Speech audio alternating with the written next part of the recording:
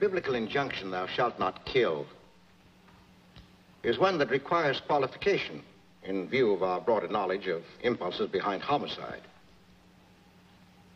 The uh, various legal categories, such as first and second degree murder, various degrees of homicide, manslaughter, are civilized recognitions of impulses of various degrees of culpability.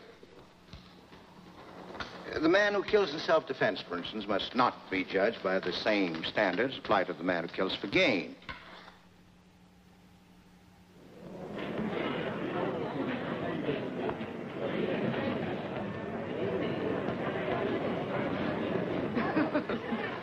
now, what are you doing tonight? Well, I'm having dinner with Lalor and Barkstane at the club. Well, I just don't want you to stay cooped up every night working all the time. Well, I won't. I promise you. I'll get out. All right, dear. I should think you would after classes all day. But once you get your nose into a book... Mama, they're going. Yes, dear. Goodbye, darling. I'm so sorry you're not going with us. So am I, but you have a good time. Don't you worry about it. Will you miss me? Every minute of the day, every second of the night. Mama. Bye, sweet. Kiss Daddy goodbye. Goodbye, you little brats. So long, Pop. so long. And mind mother, both of you. Yes, sir. Watch Dick. Yes, I will, dear.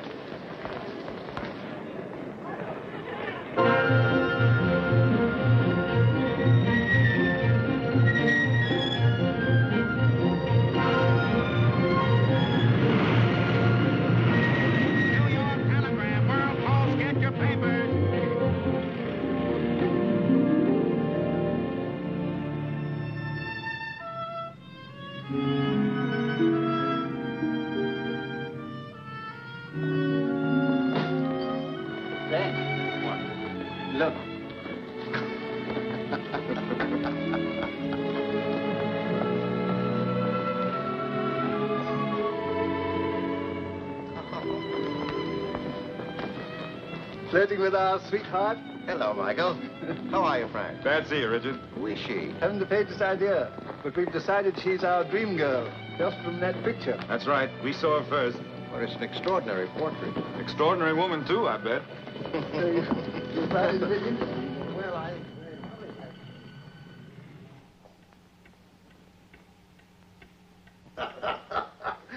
well, what's the program now, huh? Stork Club? Billy Rose's?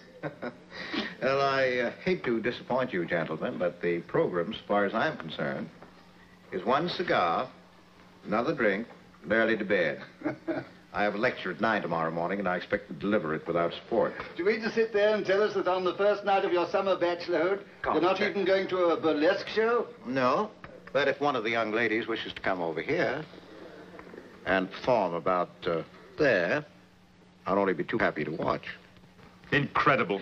Absolutely shameful. it's outraging tradition. Well, look, I'm a middle-aged man. We all are. We're three old crocs, and that sort of shenanigan is out for us. Just a minute.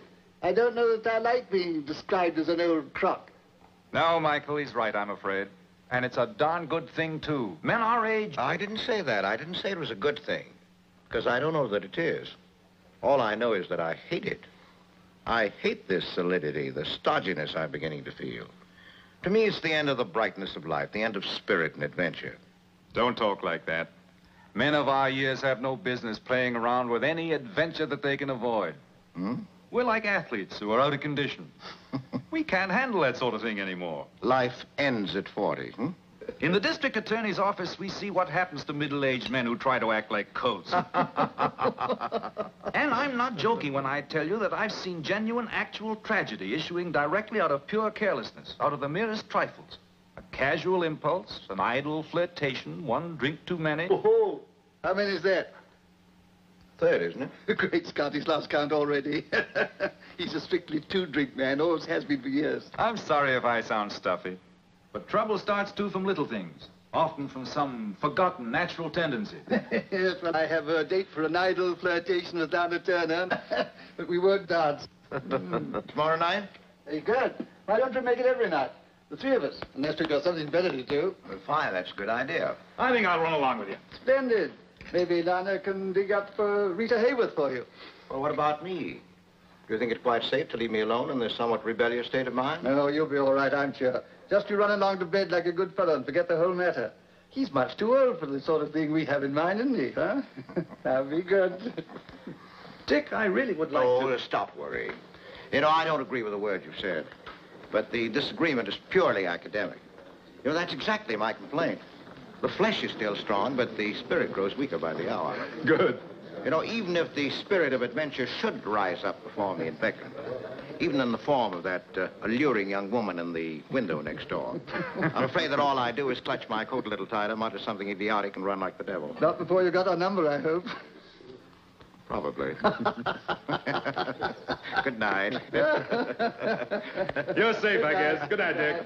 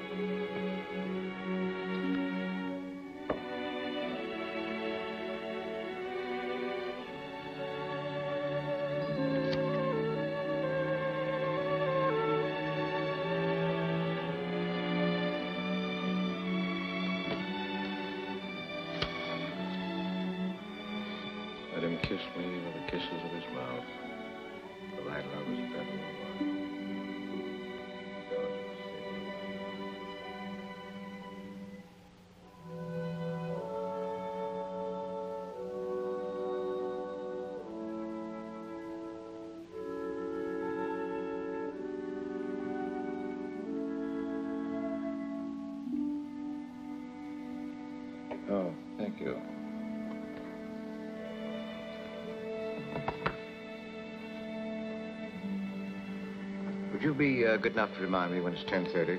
Yes, sir. Sometimes I'm inclined to lose track of time. Well, I'll remind you, sir. Thank you, sir.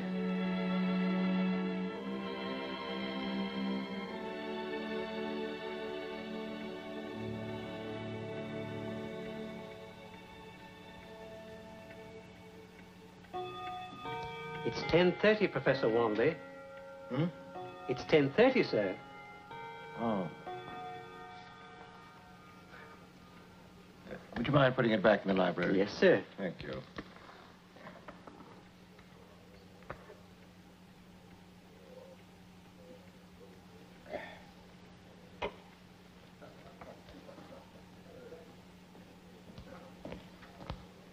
My hat, please.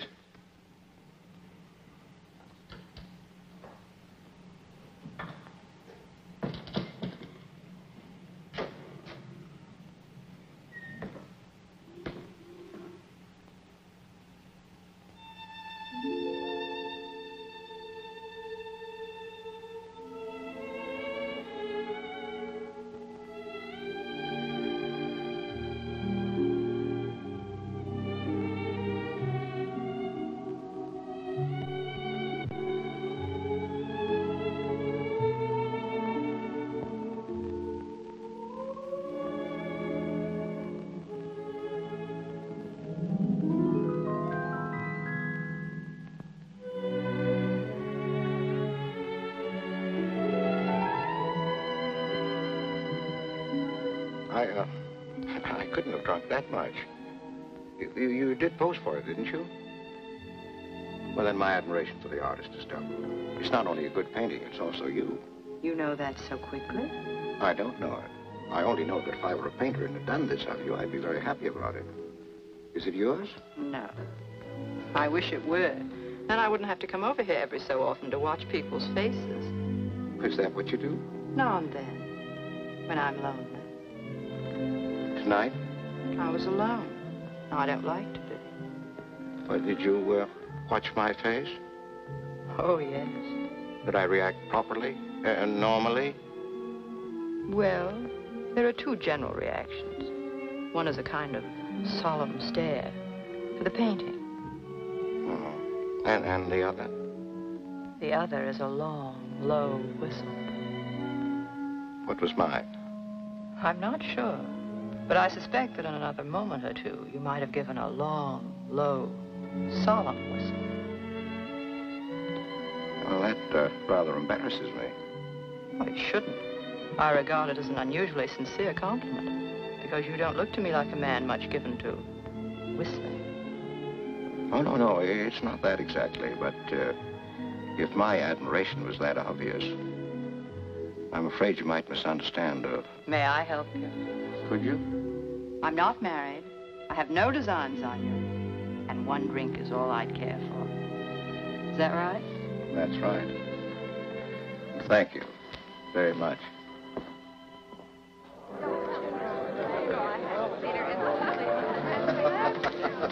What's so funny?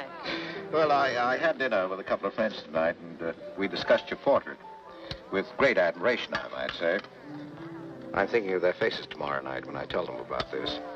Sitting and chatting over a drink with the charming young lady herself. Would you like to see some more of his work? I would indeed. I like it very much. Then when you've finished your drink, you can take me home and I'll show them to you. They're just sketches, but quite good, I think. They're of me, of course. A little late, isn't it? Is that late? Eleven? I don't think I should. I don't think you should. What do you mean? I was warned. You mean you're afraid of me? No, no, no, no. It's not that, but uh, I was warned against the siren call of adventure. At my age, I should never have stopped to talk with you. I should never, never have come here to drink with you. Never?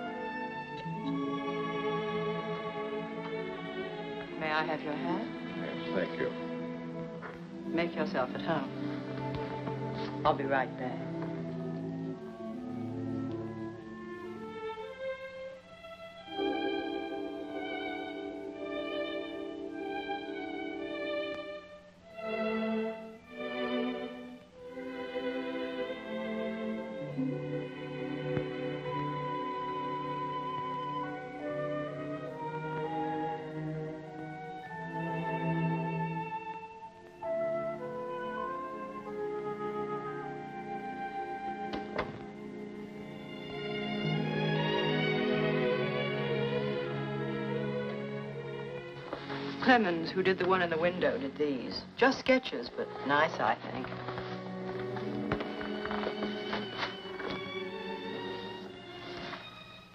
Beautiful.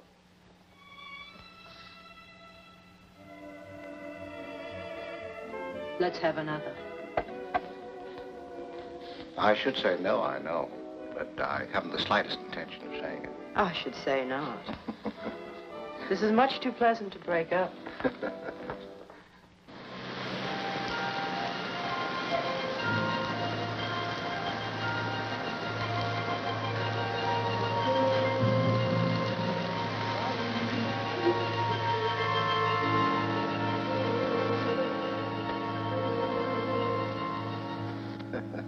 Ouch. Oh, did you cut yourself? No, but the wire broke. Have you something to cut it with? Scissors all right? Yes, I think that'll do.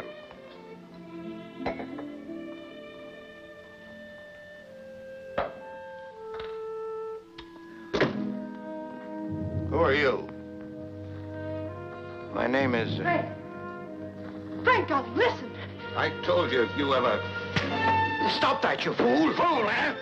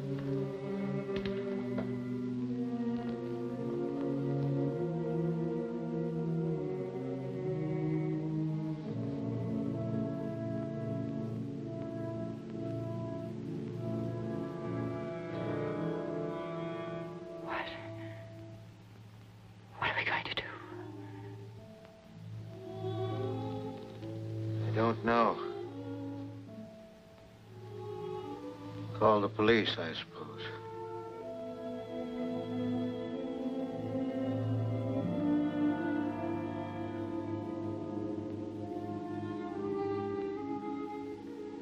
What was his name? Howard. Frank Howard. That's what he told me. Don't you think it was?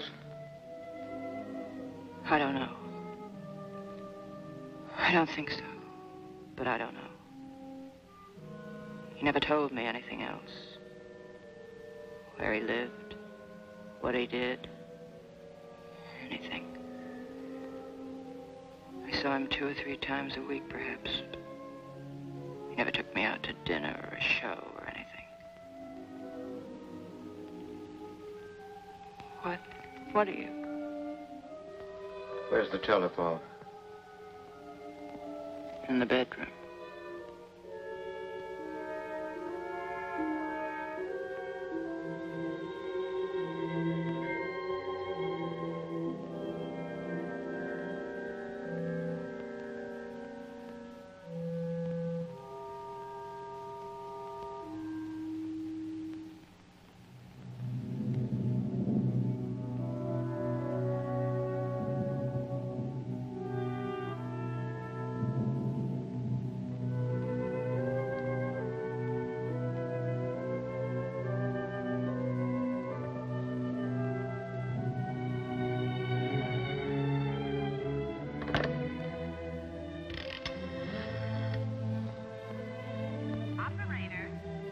Operator, give me.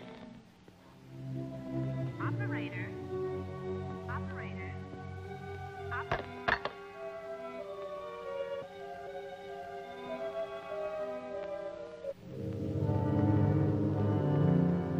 You say nobody has ever seen you with him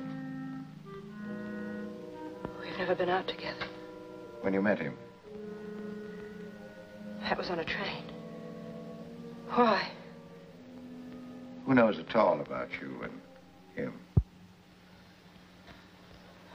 Told someone. Which I doubt. Nobody. You've never mentioned him to anybody.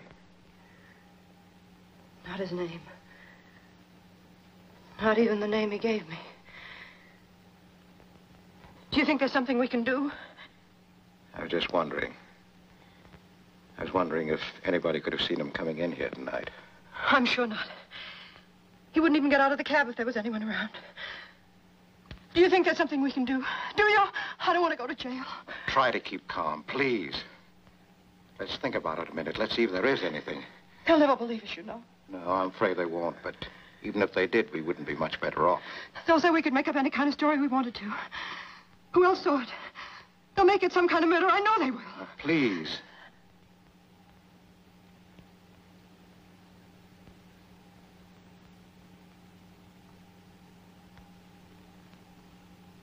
No feeling about him. He was trying to kill me, there's no question about that. If I hadn't killed him, he'd have killed me. If you hadn't given me the scissors, I'd be dead. But whatever they believe, I'm ruined. My whole life. You were thinking of something. What was it? I was wondering if we had the nerve for something. Something pretty dangerous. That would shut the door on us completely if we were caught. Anything you say. I don't want to go to jail. I don't. Well, it's this. If nobody knows about you, if nobody saw him coming in here tonight, how could either of us be connected with it if his body were found miles and miles away from here? But how? I'll have to go and get my car. I'll park it directly in front of the door. And then we'll pick our moment. You'll watch while I carry it out and put it in the bag. And then I'll dump it somewhere in the country. It'll be found, of course, sooner or later, but maybe not for a week. You mean you'll go for your car while I wait here? Would you be afraid? Not of that. But if you got out of here, why should you ever come back? I like you. I think you're all right, but I don't even know your name. And I don't think there's a man in the world that wouldn't get out of a mess like this if he could. Oh, we mustn't quarrel. If we do that, we're lost, both of us. Why can't I go with you? Well, I'm hoping we can get ourselves out of this completely. But there's one condition. I won't tell you my name, what I do, or take you to get the car, because then you'd know where I live. But if we're successful tonight, it'll be of no importance to you. I tell you what I'll do. You leave something here. Leave your vest with me. That would be a clue if you didn't come back. Well, that's fair enough.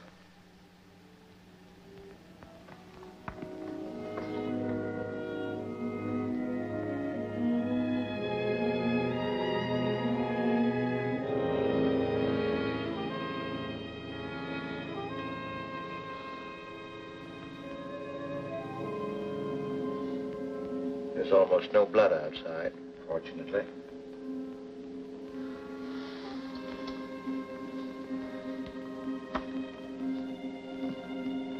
Have you a dark blanket we can wrap them in? I have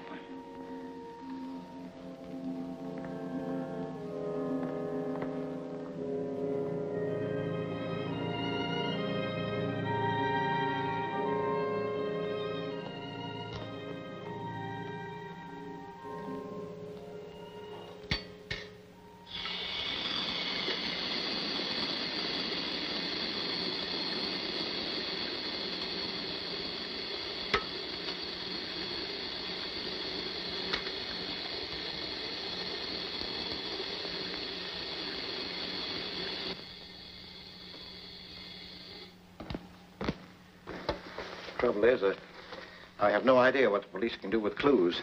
But a great deal, I'm sure. I've read of things a little short of miraculous by the city police as well as the FBI. From a piece of cloth or even a button. Now, 115. I'll have to take the subway, so I probably won't be able to make it much under three quarters of an hour. Maybe an hour. But even if I'm longer than that, don't worry. Don't get panicky call the police, because I promise you I'll be back. I won't fail you. 215. Now look outside, will you? Yes.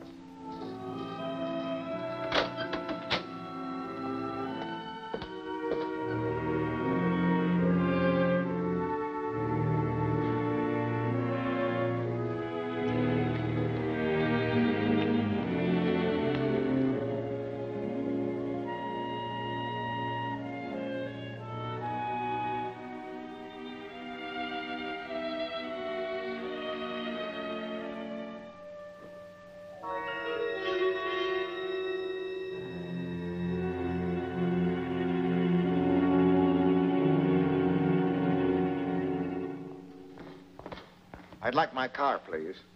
Yes, sir. Hey, Charlie, Yeah? Professor Wanley's car. Right away. Kind of late for you, isn't it? Yes. Later than I expected. Hey, you know Mr. Ward in your building? Yes? Four o'clock Sunday morning, he got in.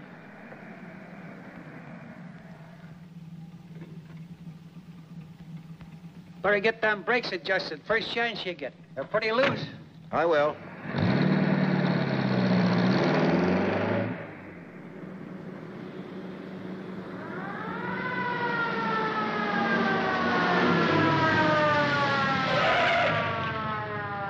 Pull over to the curb.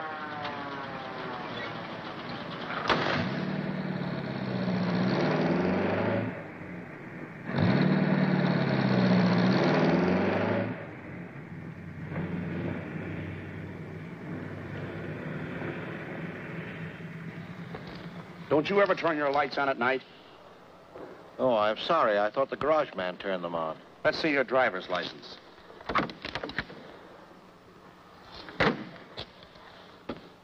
Wanley, huh? Do you have any other identification?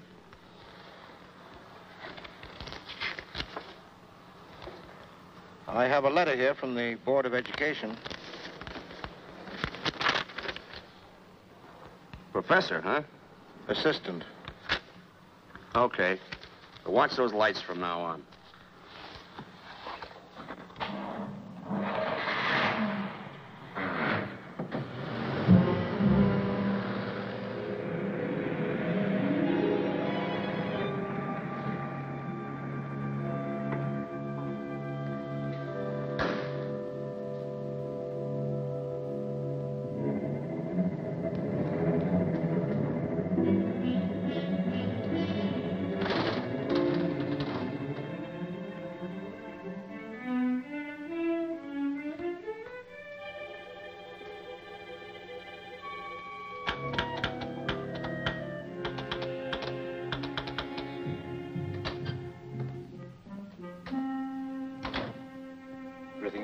Everything's just as you left it. The name on the mailbox is Reed, Alice Reed, in case you have to come again. Well, if we're lucky, I don't think there'll be any occasion for that. Is that the blanket? Yes, First, I imagine we ought to get rid of the more obvious means of identification. I've already done that. You searched him? Had to be done, didn't it?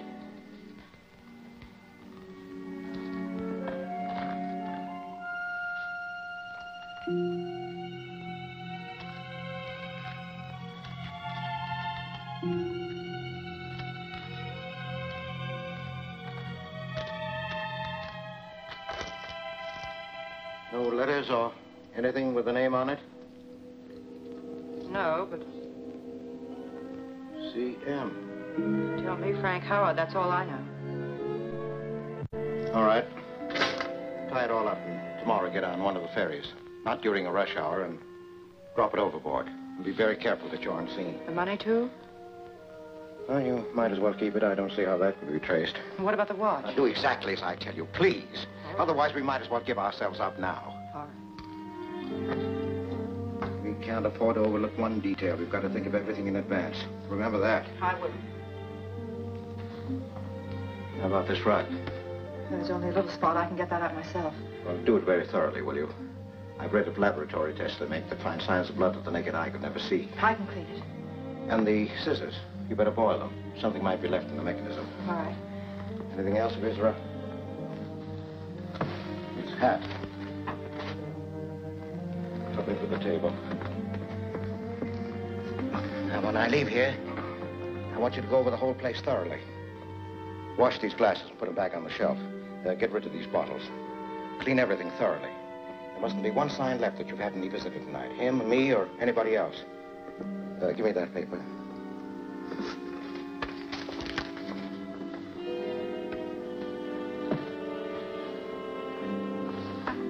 Give you the blanket back as soon as I've got him in the car.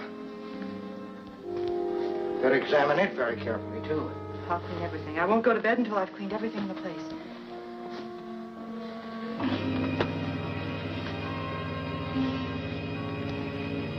Put out the lights.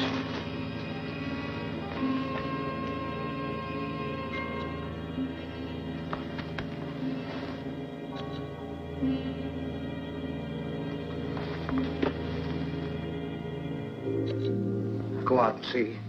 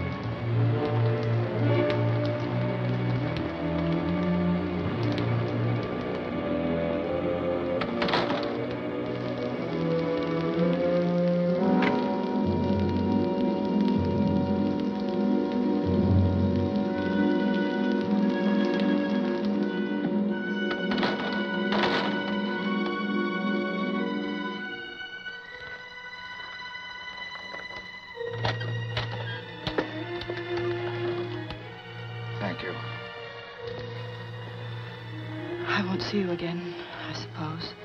For both our sakes, I hope this ends the whole thing completely and forever. All right, then. Goodbye.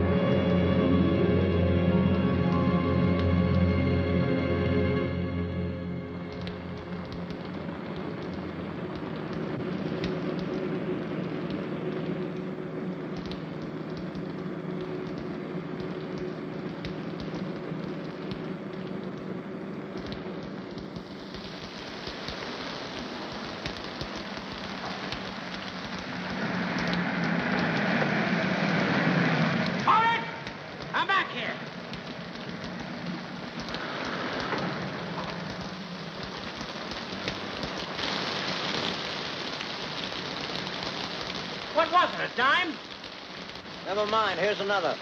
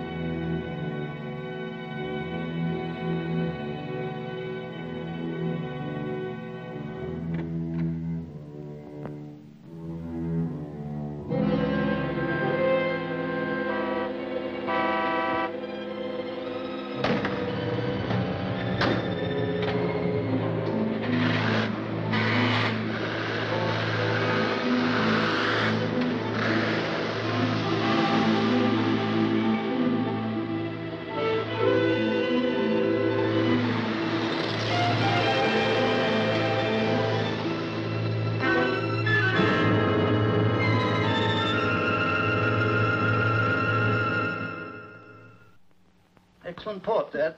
Yes. William. Check, please. Yes, sir. This is mine tonight. Oh, thank you. Did uh, Frank say what kept him? Hmm, Something important, I imagine. He sounded excited. Well, I can't quite picture Frank excited.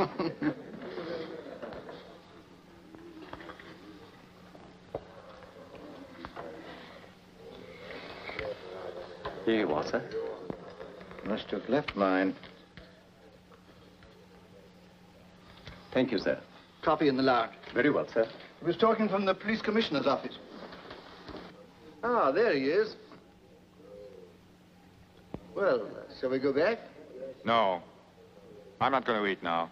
I'm going to have a drink. How are you, Richard? Fine, thank you. Account for yourself. Come inside. You'll be interested in this. Oh, Collins, get me an old-fashioned, will you? Yes, sir. Let's go over here. Hot news? Very. But confidential for the moment. Claude Mazard has disappeared. Claude Mazard? Yes. But, um, how do you mean disappeared? Exactly what the word means. He left Washington yesterday afternoon. He arrived at Penn Station last night. And from there, he's literally disappeared. Is that, uh, Uh, the promoter? Oh, my dear Richard, don't be vulgar. when a promoter has promoted a colossus like World Enterprises Incorporated, he's no longer a promoter. He's a financier. Oh, yes, yes, of course. I remember now. We're going to wait until... no, not for me. I got an old-fashioned cup. We're going to wait until midnight on the off chance he shows up. But if he hasn't checked in by then, we'll give it to the papers and then watch the fireworks. The market? And how? What did he look like? Or rather, I mean, uh, uh, what sort of fellow was he? A pluperfect nuisance. He was a patient of mine for a while. For what? Nerves, uh, blood pressure. He had the most ungovernable temper I've ever known. You'd no idea how pleased I was when he called me a quack and stumped out. Well, uh, just because a man doesn't show up for a day, I see no reason to assume that he's been murdered. I didn't say he was murdered. Mr. Lalor. Oh, Mr. Lalor. Yeah? Uh, telephone, Mr. Lalor. Thank you. Excuse me.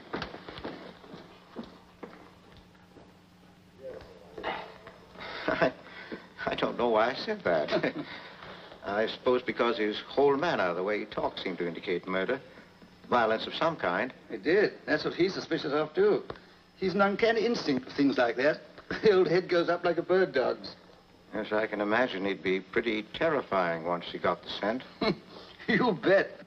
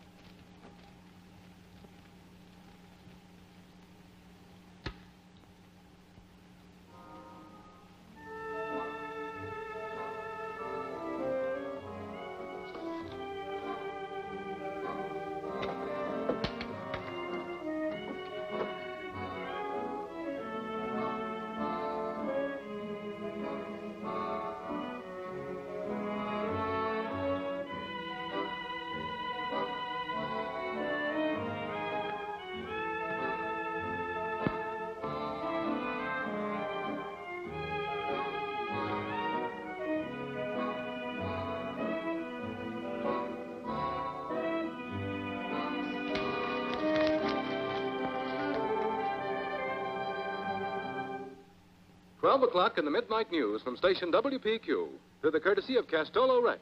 That tangy, bracing acid remedy for that tired feeling. But first, a word about Castolo Rex. Wise Mother Nature has balanced the chemical contents of the gastric juices so carefully that heartburn, acid stomach, or an upset digestive system resulting from overindulgence in food and drink can blight a person's whole outlook on life. But why suffer when Castolo Rex, Mother Nature's own helping hand, is available at your nearest drugstore? Try it today and every day. Now for the news. The police have just announced the mysterious disappearance of Claude Mazard, founder of the fabulous public utilities empire of World Enterprises Incorporated, under circumstances indicating foul play. At the same time, World Enterprises Incorporated have offered a reward of $10,000 for any information as to his whereabouts, dead or alive. After checking a briefcase at Pennsylvania Station about 10.30 o'clock last night,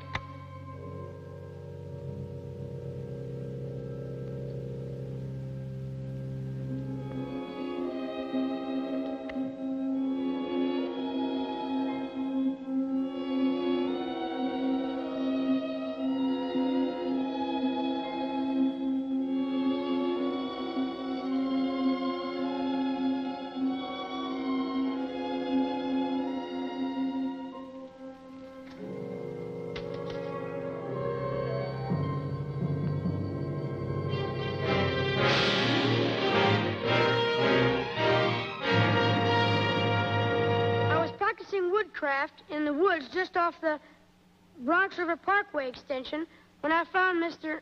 Mr. Mazard's remains. No, I was not scared. A Boy Scout is never scared. If I get the reward, I will send my younger brother to some good college, and I will go to Harvard.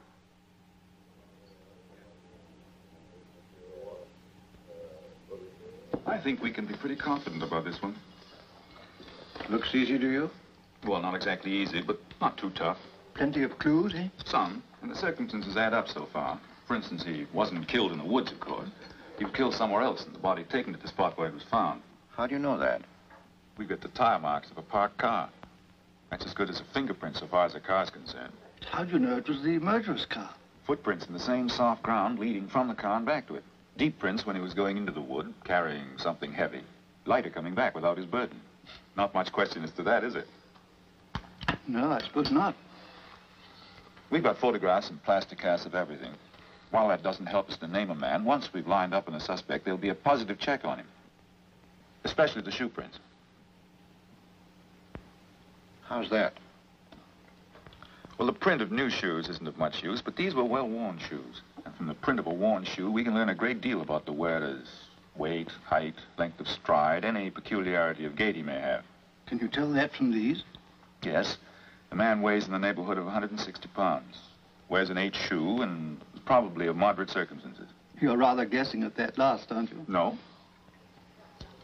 The shoes have been half sold.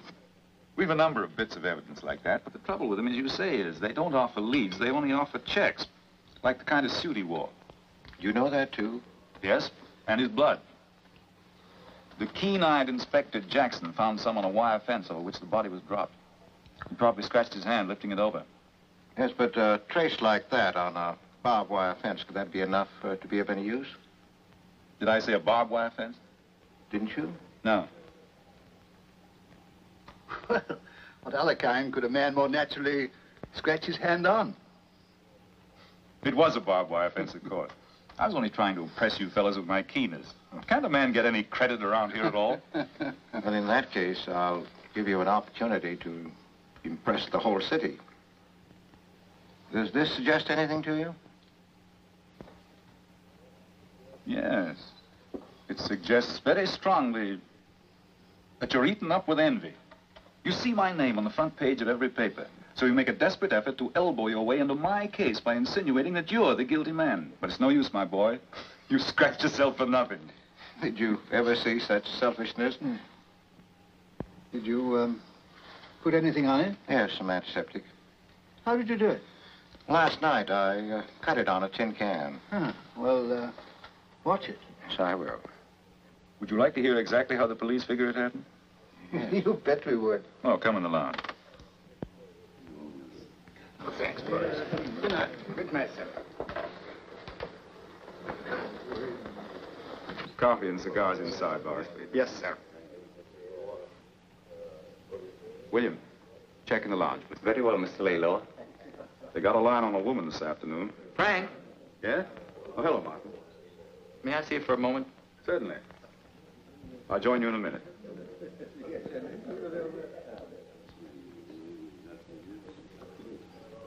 Great stuff knowing a district attorney. Get all the inside dope. Yes.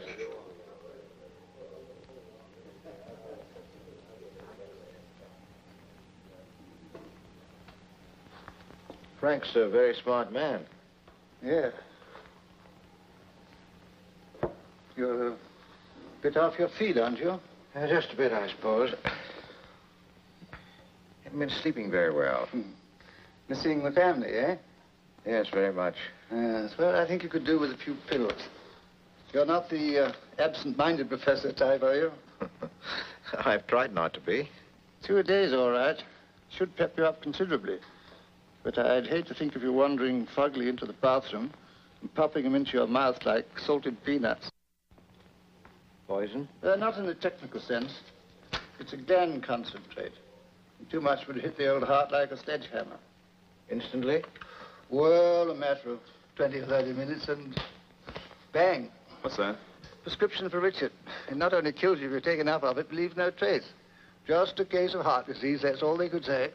I suppose there's no way of telling how many of your patients you've disposed of in that way.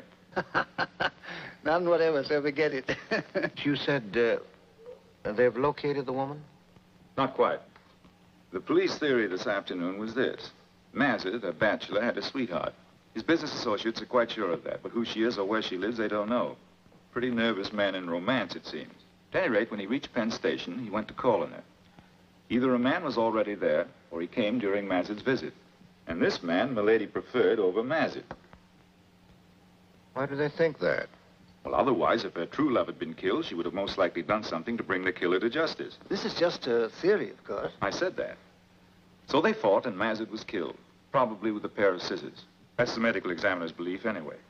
Then, in a panic, they loaded the body into a car, his or hers, and took it to the place where it was found. Now, these two people, this man and this woman, sit, hating and fearing each other, each wondering how long it'll be before the other is caught and blabs out the whole story. Always a woman, eh? Wait, I'm not through. That, I said, was the theory this afternoon. And what is it now? Well, now it's anybody's guess. Something came up just as I left the office that pulls the rug right out from under that theory. Really? It seems that Mazard's associates, always afraid he'd get into trouble with his temper, had engaged a man, a bodyguard, to follow him secretly at all times. Well, that night, too? That we don't know. We don't know because he's disappeared as well. Then there's your murderer, isn't it? Hmm? Could be, but not necessarily. Then why hasn't he shown up? Uh, it's not that simple. He could have murdered Mazard, yes. He might have tried to blackmail him and killed him in a fight. Or he might have witnessed the killing and is getting ready to blackmail the killers. But even if he's 100% innocent, he still won't walk in and talk. Why not? Because he's hot. He's a known crook with a blackmailing record. That's why he was thrown off the force, for shaking people down. And he's wanted for at least two other raps. We'll get that, gentlemen, when we run him down, and not before. nice fellow to pick for a bodyguard. Oh, don't ask me why Wall Street geniuses do anything. He's tough and strong, and I suppose that's all they thought of it. Anyway, I'm going up tomorrow morning to have a look over this place where they dumped the body. Either of you fellows like to go with me? I'm sorry, I wish I could, but I'm operating in the morning. Richard? Oh, I'm afraid that... Oh, you go with him. You've got no classes tomorrow. You told me so. Yes, I know, but... Uh, He'll go. I'm his physician. I order him to. Give you something to think about. What time? I'll pick you up at your apartment at 9.30. Very well. I'll be ready. Good. We'll try to show you how the law operates to nail a man. Richard?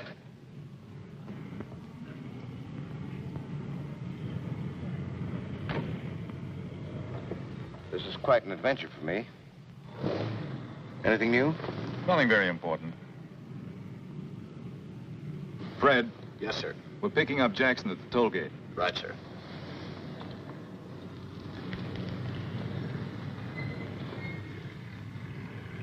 District Attorney's Office. Any luck? Fellows is not on duty. We'll check at his home this afternoon. Inspector Jackson, Professor Wanley. How do you do, Inspector? Pleased to meet you, sir. Oh, uh, excuse my left hand. I have a little cut. Oh, yes. How's it coming? All right, it's nothing. How did you say you did it? Well, uh, I was opening a can in the kitchen the other night, and the can opener slipped. What was in the can? Poison ivy? I'm, I'm afraid that was pure stupidity. Uh, the next day, I was looking for a lost golf ball, and evidently I got into some poison ivy. You must have scratched it. It's a pretty bad infection. Well, it's an awful nuisance, I know that. Is, is this your case, Inspector? For the moment. They're all his cases, all the tough ones. Inspector Jackson's head of the Homicide Bureau. Oh. Anything new since I left? Well, we picked up that woman this morning. Good. What's she got to say for herself? Well, we'll see her when we get there. They're bringing her up.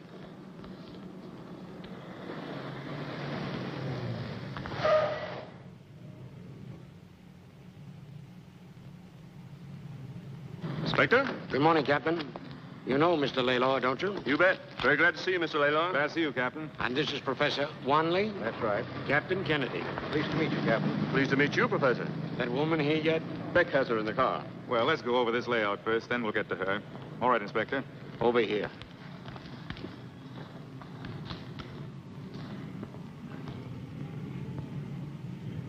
Now, here is where he parked his car.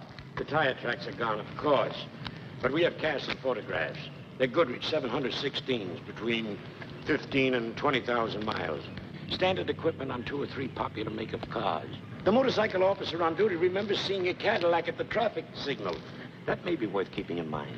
Did he see who was in it? Yes, the driver, a man, but he doubts very much if he could identify him. So I don't think that's going to lead us anywhere.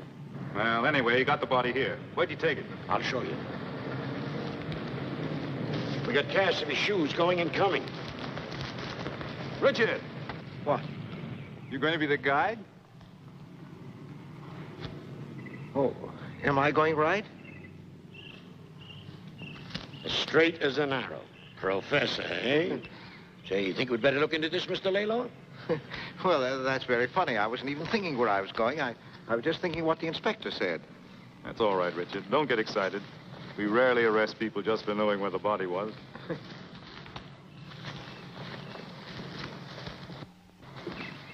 I don't imagine our killer was very familiar with this spot because the fence was too near the road for his purposes. At any rate, he couldn't go much further without a great deal of difficulty. So he just dumped it over down there.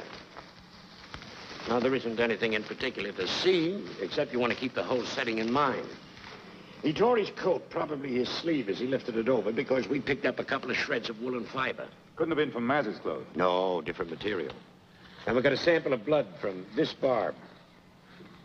He certainly didn't pick himself an easy job. Maz weighed close to 200 pounds, you know. Yes, it must have been pretty tough going. Yes, especially at night. Well, yes, it may have been at night. I suppose so. But I was thinking of it as early morning, along about daylight. Well, I, I thought the paper said night. Anything else, sir? I can't think of anything else. You, Richard?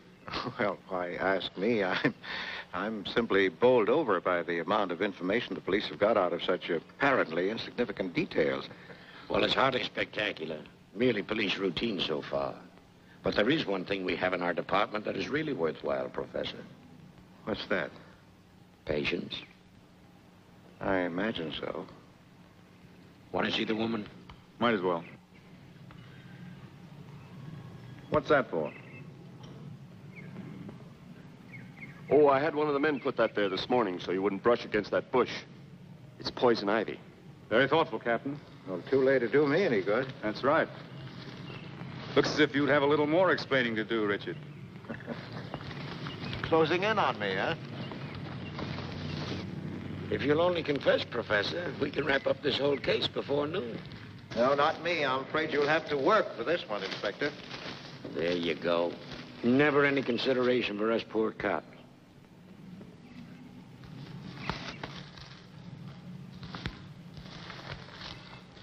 Let's have the woman. Yes, sir? All right? All right.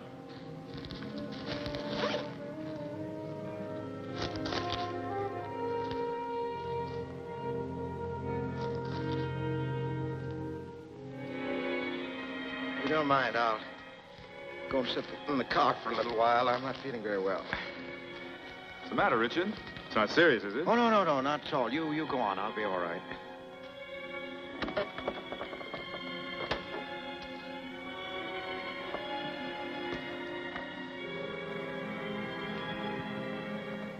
Well, if you need me. No, no, no. You, you go right ahead.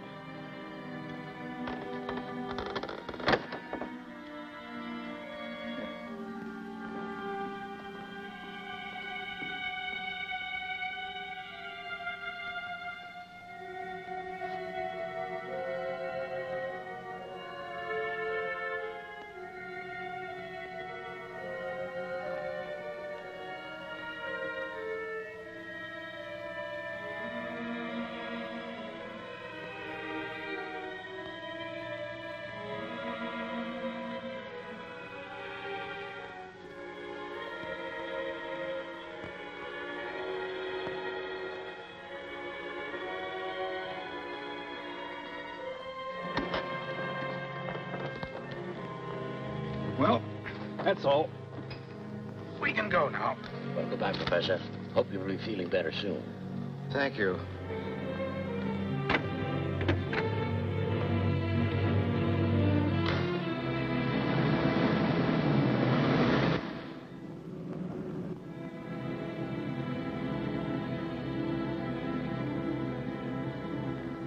Well, what do you think? The woman? You think she's the one? No. She's got something on her conscience. But what woman hasn't? Yes, uh, wh- where do they find her? Second class hotel off Broadway. I don't know. She seems a bit dingy to me for Mazard. He'd do better than that, I'm sure. Uh, cheap uh, looking? Bottom of the barrel. It's the bodyguard who's hot now, anyway.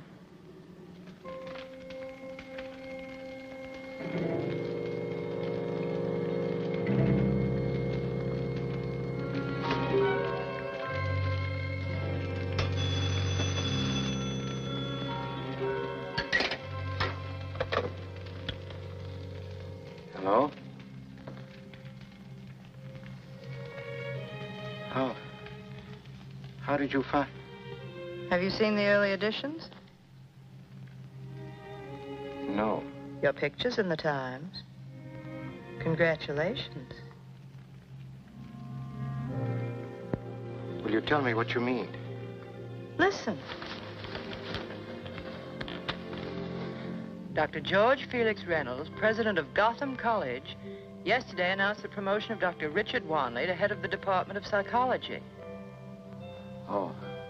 Oh, of course, I, I wasn't expecting it to fall. Did I frighten you? A bit.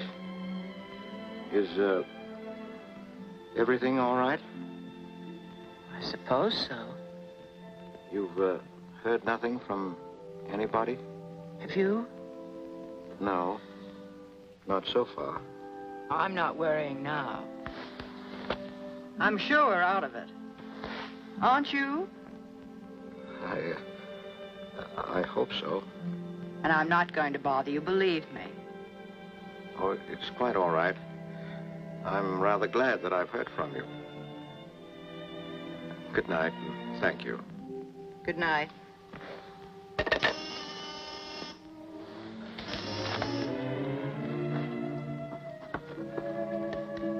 Yes? Miss Reed, Who is this? open up. I want to have a little talk with you about our friend, Mr. Mazard.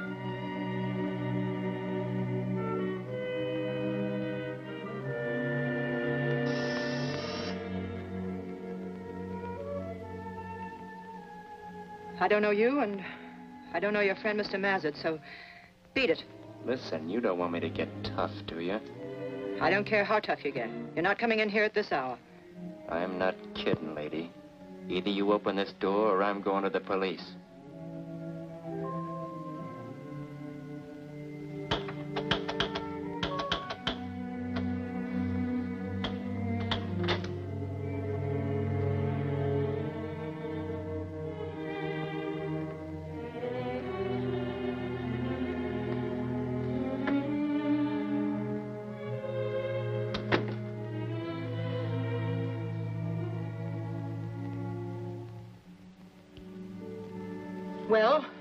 Got to say and get out of here? Sure. If you didn't hear it, it was on the radio tonight. Another reward for $10,000 for any information leading to the arrest of the murderer of Claude Mazard. You didn't hear it? And if I had, it wouldn't have meant one thing to me. Now, if you're going to start claiming you never knew him, you can save your breath. Because I've been tailing him for months. And I've tailed him here many a time.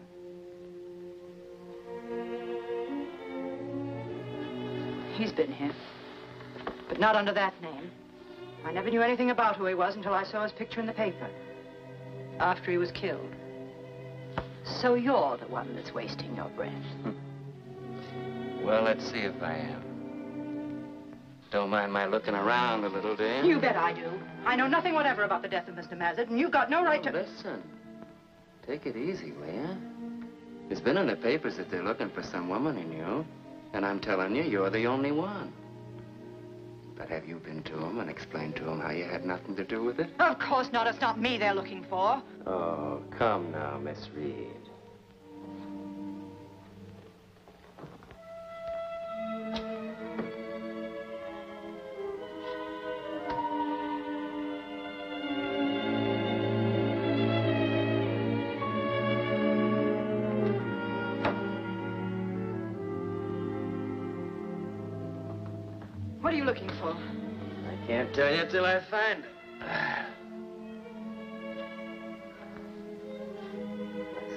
Some blood? Or a photograph? Or a confession?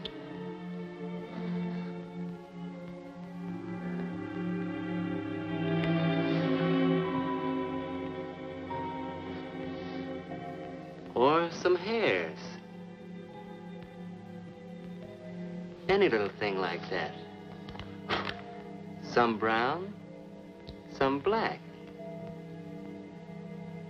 Mr. Mazard's was brown.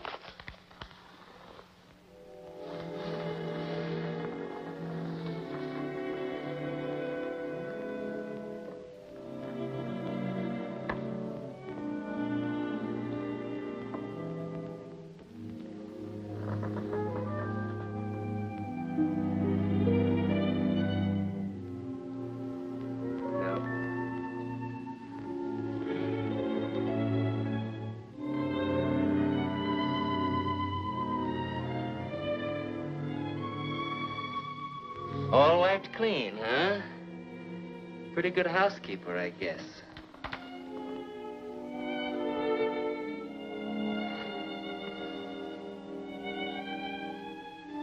Yes, sir, clean as a whistle. Not a finger mark anywhere. Not even where you'd think they'd be naturally.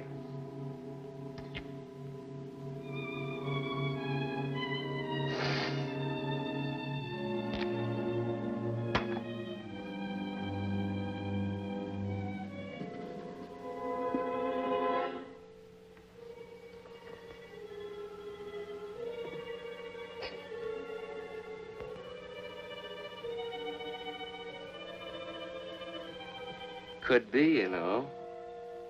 Those little stabs.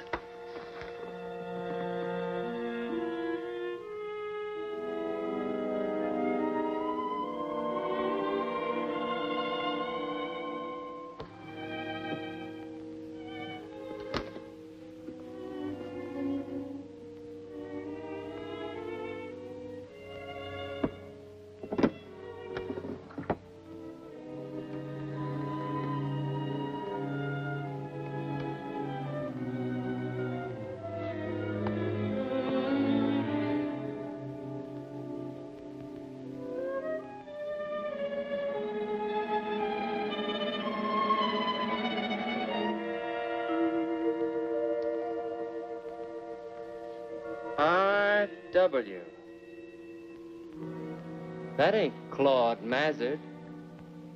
And it ain't Alice Reed. And you had it hid, too. What's his first name? Robert? Richard? Oh, I'm getting warm, all right. No question about that in my mind. All right. What do you want? Now you're talking. I don't want to make trouble for anybody. I can, of course, but I don't want to. But the way I figure it, you just don't want the police nosing around in any of your business. Isn't that right? Who does? That's what I mean. So I'll tell you how we can fix it. There's a $10,000 reward out for just the kind of information I got. But I don't see it that way. The way I see it, if I got 5,000 from you, that'd be the end of it so far as I'm concerned. Are you nuts? From you and the guy, I mean. I haven't got $5,000, and there isn't any guy to get it from, so you may as well go right along to the police and tell them whatever you wish. Now, you don't want me to do a thing like that, Miss Reed. Mr. Mazard was a very rich man, and you can't tell me you didn't get something off him. And don't forget, You'll be a lot better off dealing with me than you would with the homicide squad.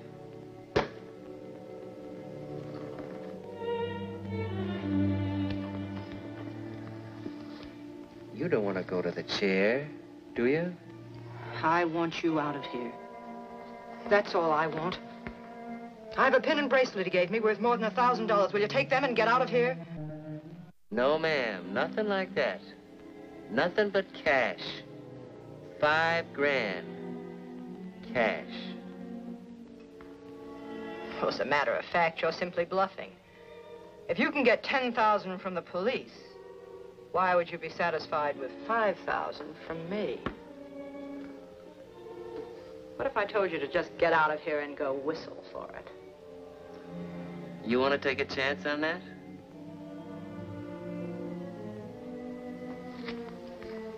You see, honey, you did it. You and this guy. Otherwise, you wouldn't even be talking to me about it. If you'd been in the clear, you would have called the cops the minute I walked in. I know that. So you gotta look at it my way, don't you see? I have to think it over. I have to have some time. That's okay. I'm not pushing you. Take tonight and tomorrow. Think it over. See if I ain't right. See the guy, explain it to him. And I'll be back here tomorrow night at 8.30 for the dough. Cash. But don't try to run away or pull any tricks like that. Because I'll be keeping an eye on things pretty close. Good night. Don't fret. You get the money, and that'll be the end of the whole thing.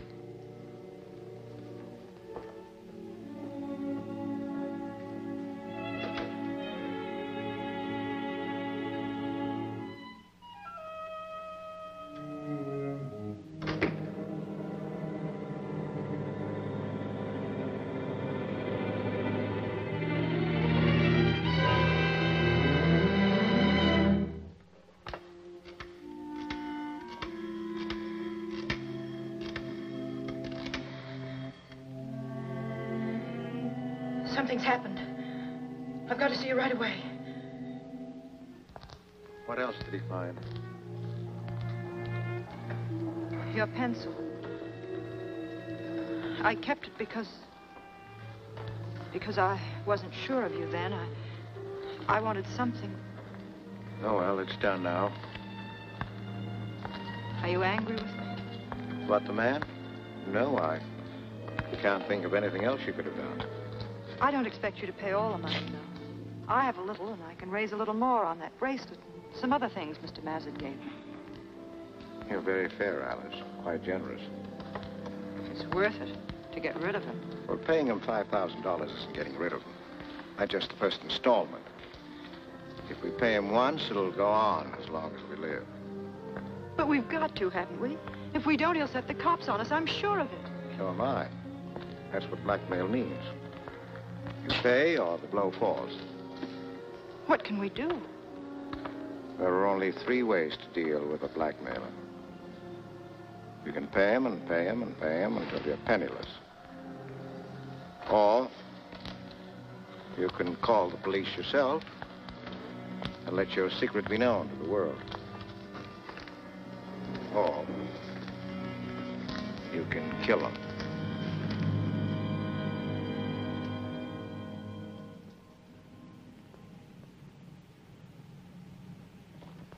Good evening.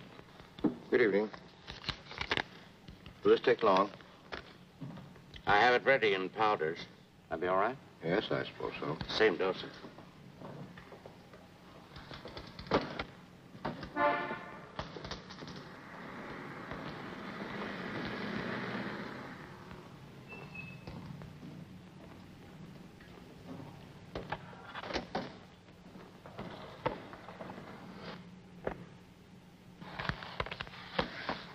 You needn't wrap it. How much?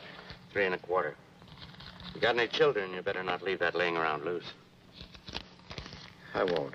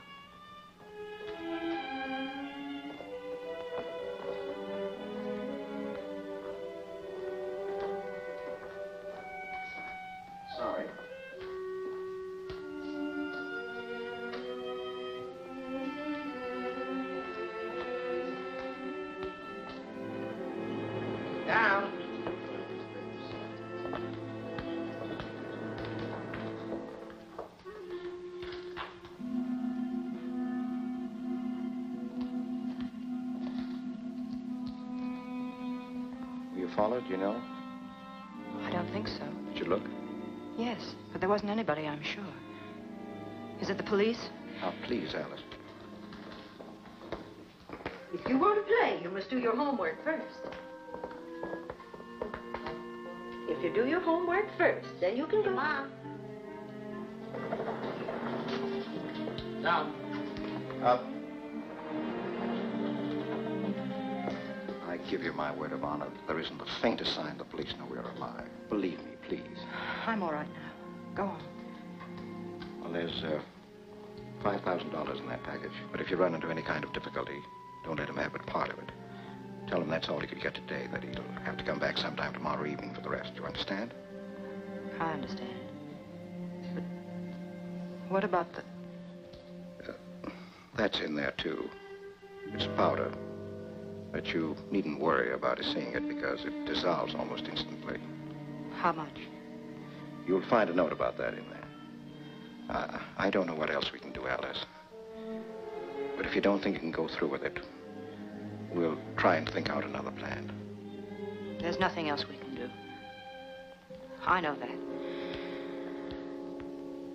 How soon does it work?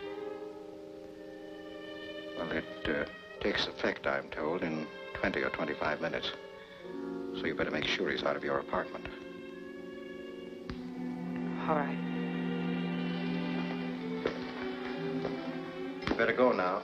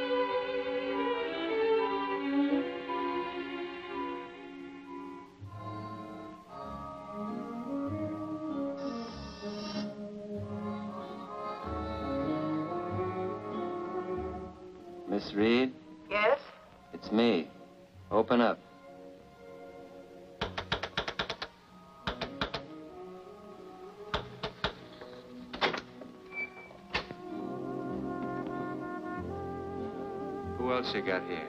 Nobody.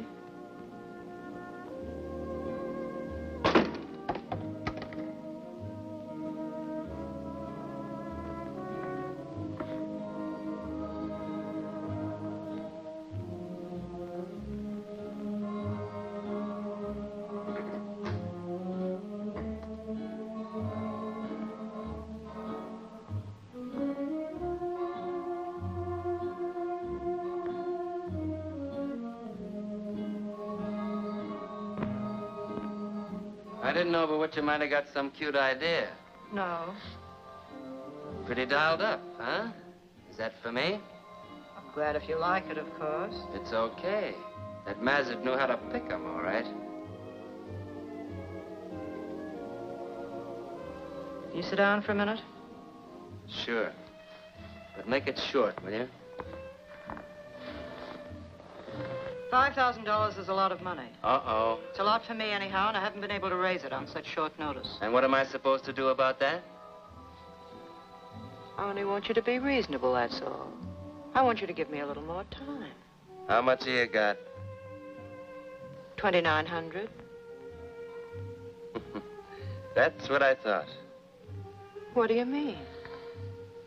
That's the kind of a figure I'd say if I had some other idea in mind. Not too little, not too big. Don't you believe me? Stop kidding. Let's have it. Come on.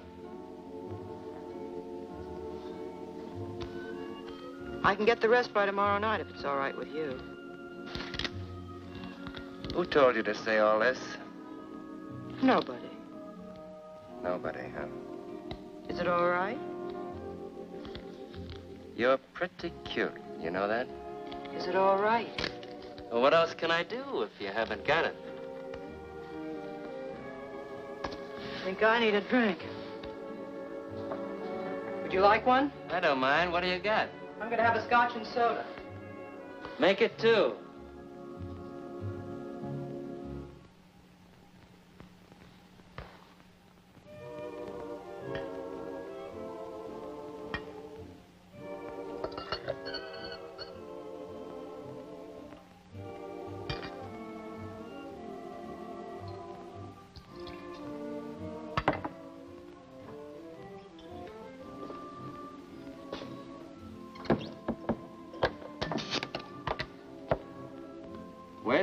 Boyfriend all this time?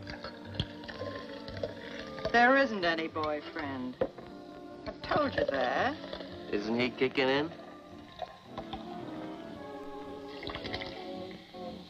You don't believe a thing I say, do you? I'm just naturally what they call a cynic, honey.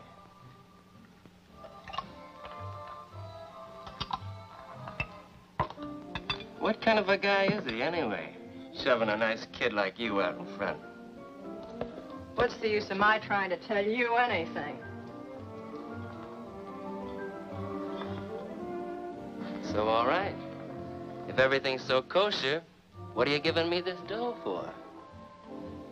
Just because you like me? I'm giving it to you because I don't want to be mixed up in this thing in any way. Not because I had anything to do with it, ah, Honey. but because in my position, you can't tell what they'll try to hang on me.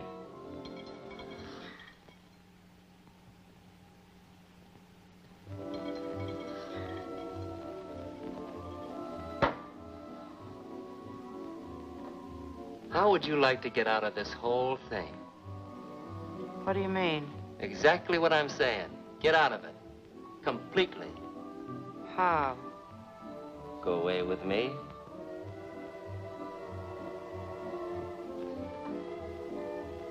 Think about it for a minute. I don't have to think about it. I'm not such a bad guy, you know. I didn't say you were. But what's more important, outside of this boyfriend that you haven't got, I'm the only person in the whole world who knows you even knew Mazard.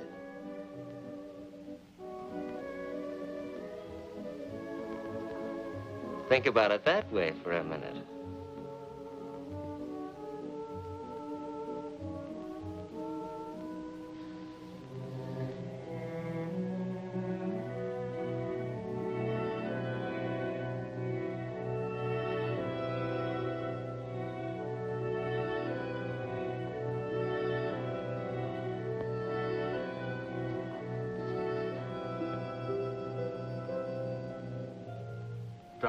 It'll be a cinch to make South America, and that's all there is to it.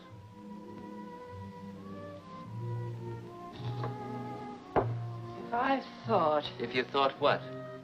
If you thought what? Have you any more money than that? Keep it. But why? Take a look in the mirror, beautiful. And if you're thinking of somebody else, don't be a sucker. In a jam like this, you gotta look out for yourself first. I suppose so. Do you think he'd think of you if he had an out? When would we leave? The sooner the better. Tomorrow morning? Tonight'd be better. Would it make a great deal of difference? Not if it's positive for tomorrow morning. Oh, I'll have to do some phoning. I can't have some people I know running around to the police and getting excited about a disappearance. Yeah, you'll have to watch that. I have to think up some kind of explanation. Is it a deal then? I guess so. I guess it is. All right. Give me a kiss.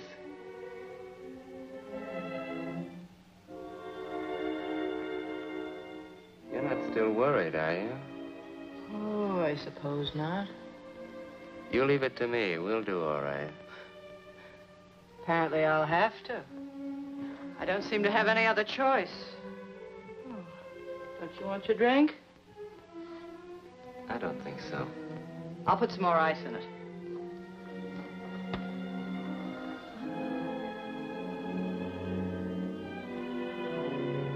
I suppose I could say I was going to the coast. Well, here we go.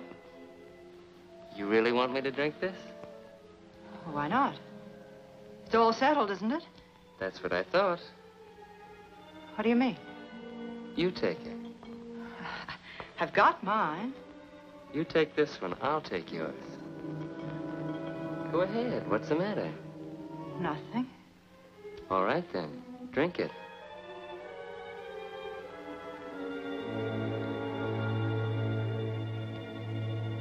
Drink it. What do you take me for? Some kid? I don't know what you mean. And all this time I've been trying to give you a break, trying to get you out of this jam. I got a good mind to break your neck. You're crazy. I don't know what you're talking about. No, then why wouldn't you drink it?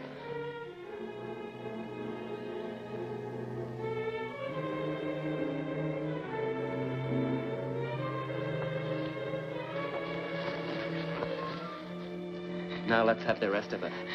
There isn't any more. Will you stop acting like I'm a school kid? Get the rest of that dough and get it quick. Come on.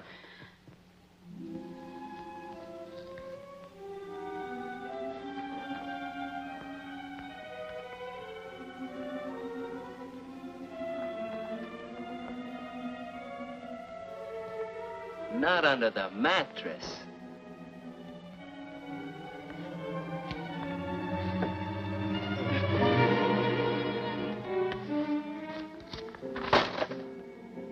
You amateurs. What else you got here?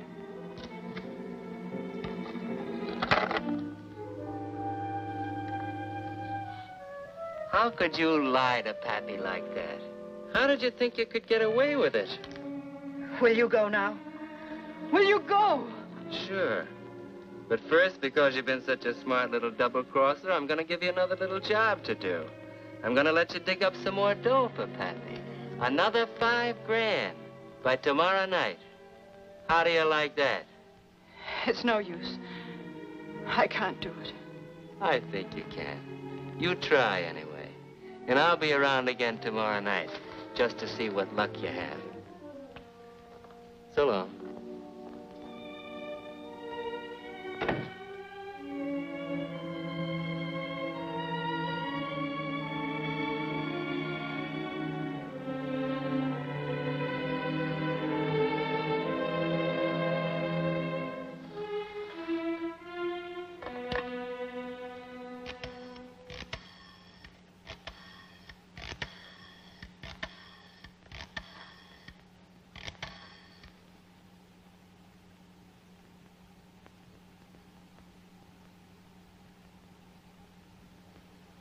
Professor? He's. He's gone. Gone? How?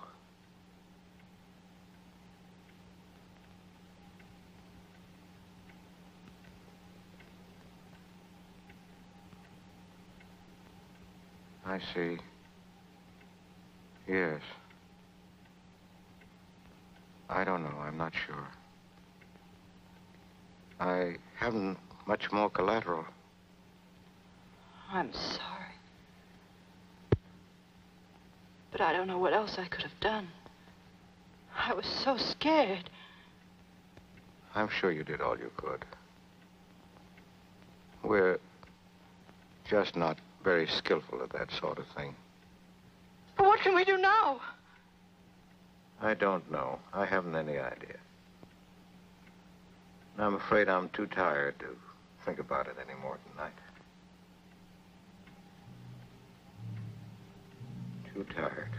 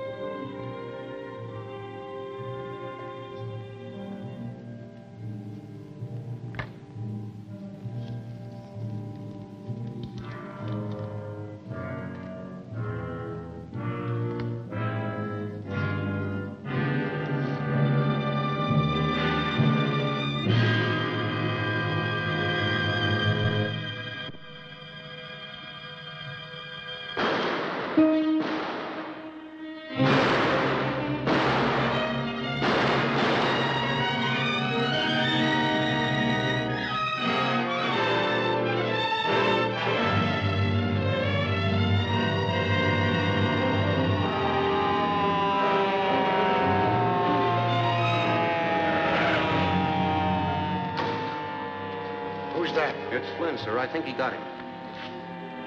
Did you get him? Looks like it.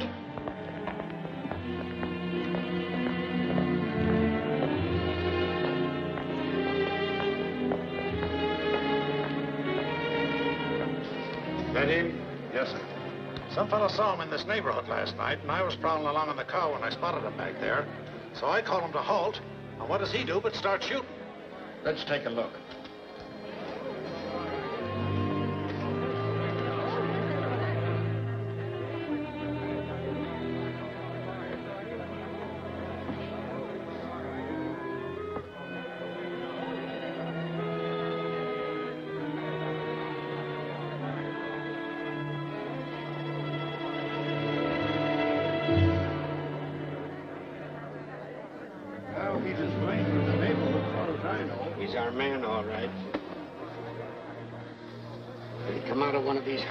You see?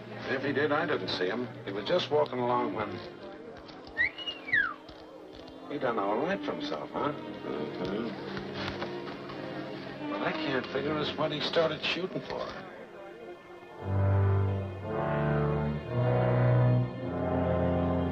He just didn't like the idea of burning, I guess. Imagine it.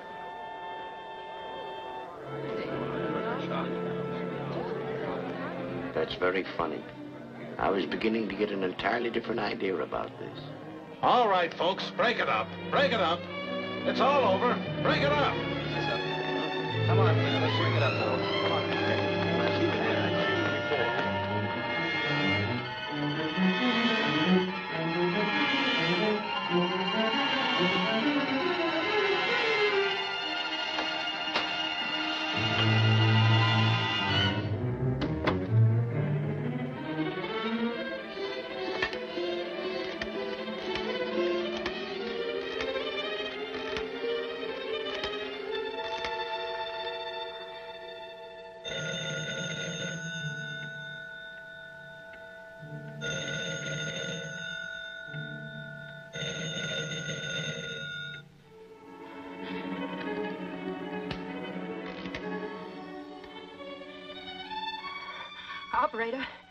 Morningside 5354 out of order? I've been ringing it. Will you try it, please? Will you? It's very important.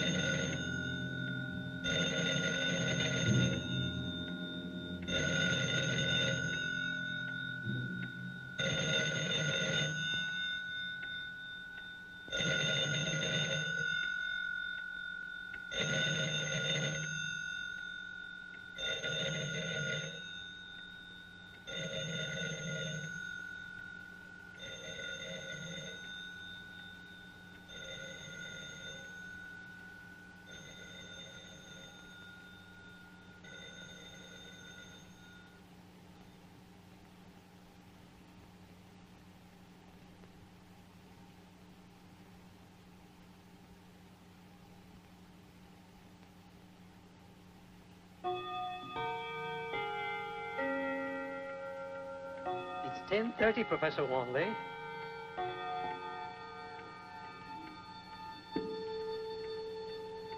It's 10.30, sir.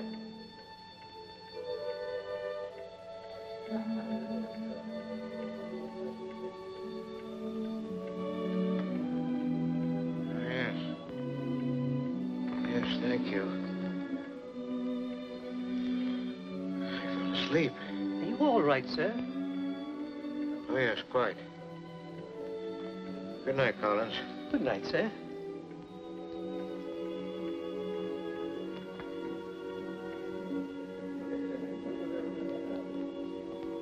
My hat, please.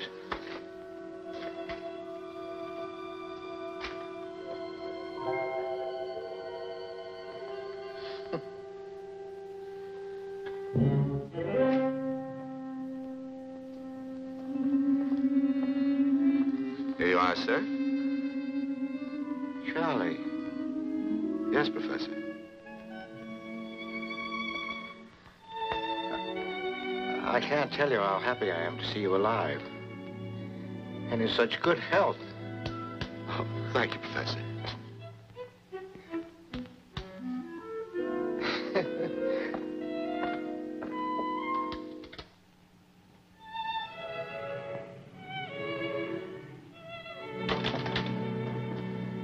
Taxi, Professor?